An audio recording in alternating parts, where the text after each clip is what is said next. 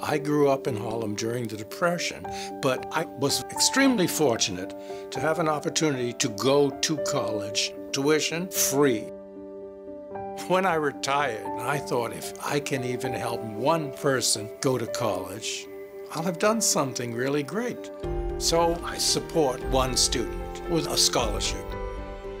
I see the values of PBS in sync with my values.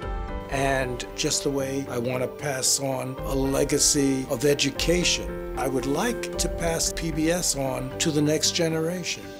That's why I've included my PBS station in my estate planning. Consider including New Mexico PBS in your estate plans. For details, please contact John Birch. I like to think that PBS is concerned with our soul. If your soul is in the right place, you're giving back.